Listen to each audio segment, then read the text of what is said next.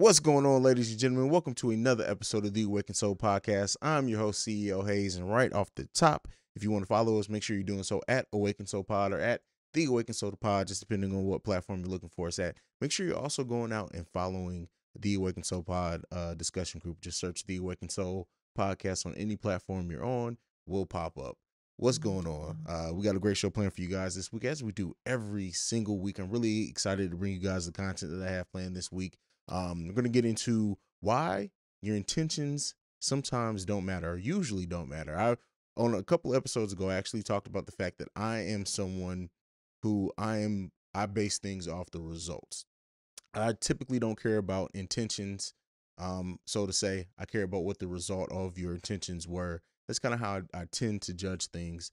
Um, and so because of that, we got a few uh, questions and about that and how to uh, when intentions do matter versus when they don't matter. And uh, because of that, I kind of turned it into its own topic for this week. So um,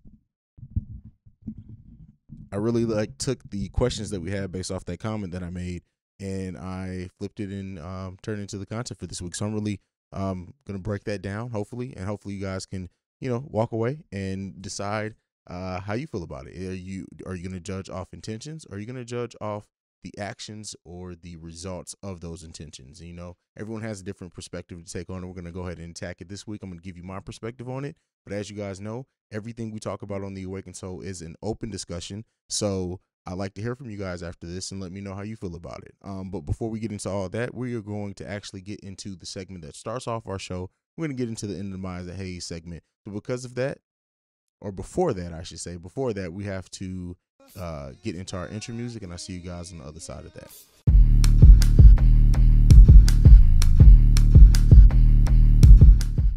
All right, ladies and gentlemen. So we're in my dark and twisted, crazy ass mind. This is the end of mind Haize segment where I typically on my podcast I don't talk about a lot of like I don't like building the main topics um, for the podcast off like things going on in like TV or pop culture, things like that. While I do discuss some of that uh, at a at a different level, I tend to like break it down differently.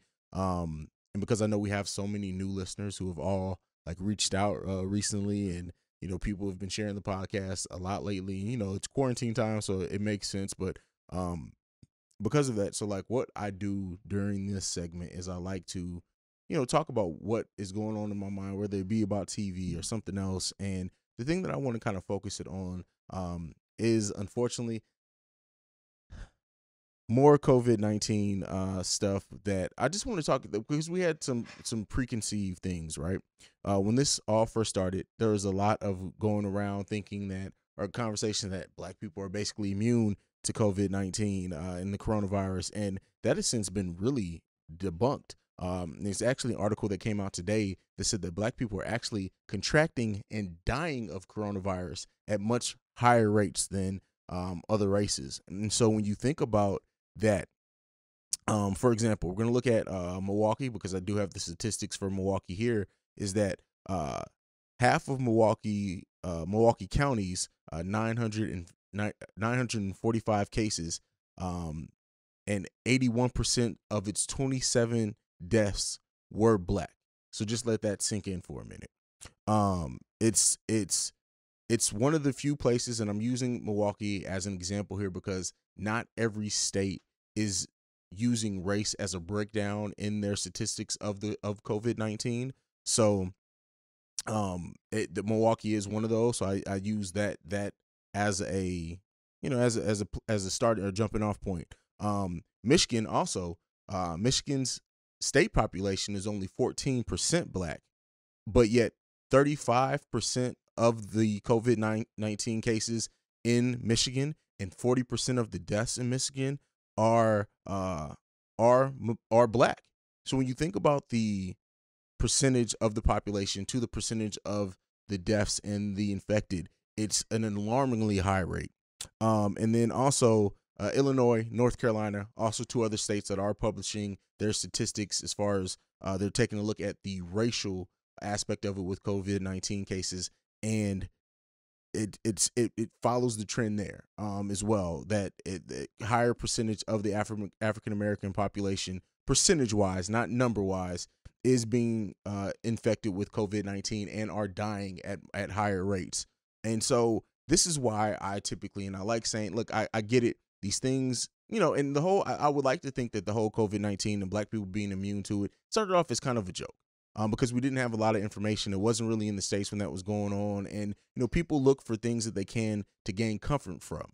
And if that that kind of helped take people's minds off of the seriousness of COVID nineteen, but like with a lot of things, that for some people, not all, has then turned into people really did think that there was a that there was a chance or that they may not get it even with the NBA players and stuff there was still a little bit of that going around where it's black people are basically immune black people can't be infected and all I want to do is use this platform to say that is completely and by statistics false we are actually it seems like based off what I had and you know not every state like I said is reporting that information that we are actually at a higher risk than our um, Caucasian counterparts and other races as far as in the in America uh, to get that. So I really wanted to talk about that. I wanted to put that information out there. I try not to harp too much on the COVID nineteen thing, and I know I've said that every week, and I've kind of got uh, into it a little bit every week, and you know it it's it's unfortunately just the reality of it and i don't and i want the whole purpose of this platform. I always say i didn't get into entertainment when i became a podcaster. I got into education and because of that i want to give you guys the information that i have as it comes to me so that's what we have. We're going to go ahead we're going to hop off that. We're not going to stay on covid-19 things uh too too long but another thing that i want to talk about um is what kind of like the whole culture uh, and these uh, quarantine parties that are happening on social media and the challenges and everything that people are using to try to take their mind off or just to connect with people. Um, just a couple nights ago, we actually had um, it was Lil Jon versus T Pain, and you know we got more coming up with producers and DJs and everything else. DJ Nice is is doing his thing as well. Um, shout out to uh, my home, not it's not really my hometown because I grew up in Italy and Germany, but I spent a lot of time in St. Louis, Missouri, and they're actually having the Show Me Cipher, which you know it, it just shows the creativity of what we can do when we're trying to connect that we and we need to connect and how we go about doing that. And, you know, last week I talked about Skillshare a lot, and I talked about growing your skills and what you can do during this time to kind of make it beneficial to you, but also just to have fun and to kind of take our minds off of it. All this stuff that's going on and these things and battles that are happening on social media, it needs to be happen uh, happening. And so another thing that I want to get on, just hopping off that during the end of Mind the Haize segment, is we got who is going to be going into the uh, Basketball Hall of Fame this year. And as I, I believe it was already said, uh, Kobe was going in. We knew that. I think even without his death, he was definitely going in. But he's going to be joined by Tim Duncan, Kevin Garnett, and Tamika Catchings. And so all of those, like this is going to be one of the best classes of um of the uh, inductions into the Hall of Fame at one time. Looked at uh, Kevin the titles that Kevin Dar- Kevin Garnett, Tim Duncan, and Kobe have. Um, I'm pretty sure if you kind of look at it, like there was probably like a, a nice six to eight year stretch where one of those players were on a team that won or was in the finals for probably even longer than eight years. So when you when you look at that and and what Tim Duncan was able to do with the Spurs and how they put that team together, Kobe with his uh, multiple runs at titles with different teams, and also this is going to be one of the most emotional inductions of the Hall of Fame in my opinion. I also think when you look at what's going on in the world, um, and when we really take some time in to get emotional and to think about that, I can only imagine what the NBA uh, and the Hall of Fame is going to do for Kobe to acknowledge his induction. Um, I'm sure I don't know if they've said it or not. Like who's going to induct him? I'm sure it's probably going to be his wife. If not, um, one thing that I thought about uh, off the top of my head is that have we heard anything from Phil Jackson since Kobe passed away? If we have, you know, my mistakes uh, for it. I just I don't remember even like with the memorial. I don't remember much about Phil Jackson, like things that he said or that uh, really stuck with anyone. If he does come out and uh, and he probably will for this induction, I can only imagine uh, the words that he's going to share. So it, it's going to be an emotional time for sure, and it's going to be a time where a period where we all kind of sit back and just hopefully take it in and enjoy something. What I try to do in my memorial of Kobe Bryant when I did my episode after his passing is I really tried to memorialize what he meant to me as a basketball player and to, and to be on the positive. And he brought people so much joy and pain. Also, if, if you were someone who didn't like the Lakers, but I really hope that this time is used as a celebration of his career uh, more so than just mourning the fact that he's gone. And that's my personal opinion on. I know everyone mourns differently. I am someone who I try my best to remember the good times uh, when somebody passes away. And, You know, it's harder the closer they are to me. As most of you guys know, I lost um, my cousin Terrence not too long ago. Uh, it's been about three years at this point. Who was more like my brother. We actually raised his brothers, and still to this day, when his birthday comes around, it's it's kind of hard sometimes to remember just the good times. I do eventually get to that point, but I always go through that dark place first. Um, but I'm, I'm sidetracking it with my own personal stuff. Really, I do hope uh, that this induction is is a celebration of him. Um, one last thing, the very last thing that I want to talk about in this uh in the minor Haize segment is um what's what the entertainment industry and i know i've talked about it before and for anyone who listens to the film frequency we talk about it heavily there um but i really and i've, I've talked about a little bit like amc theaters have said that they don't really uh, expect to be open until maybe mid-june if not later and uh, you know i think that's still optimistic even if they do reopen in june i think that you know for things to go back to normal where people feel comfortable um going to the movie theater with big large crowds i think it's going to take a while um and with that said like there's a lot of talk going around that amc theaters can possibly close down permanently.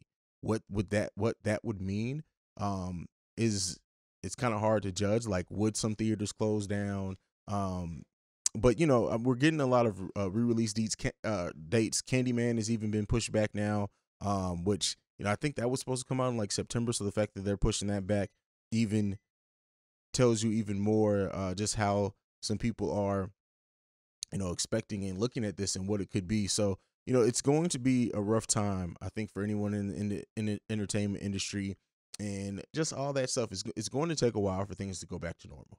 Um, and you know, I hope that I'm not somebody who all is always for government bailouts. Um, of of corporations, but in this case, I really do hope that they can figure something out because there's almost impossible to plan for stuff like this.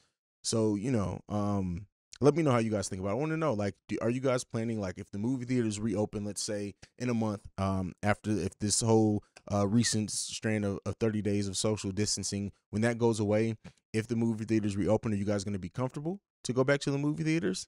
I guess we'll see. Um, I know some people probably feel differently than others. Um, but yeah, we'll see. We'll see. But that's it for the In the Minor Haize segment. This has been a presentation of the Break Break Media. Media. Media.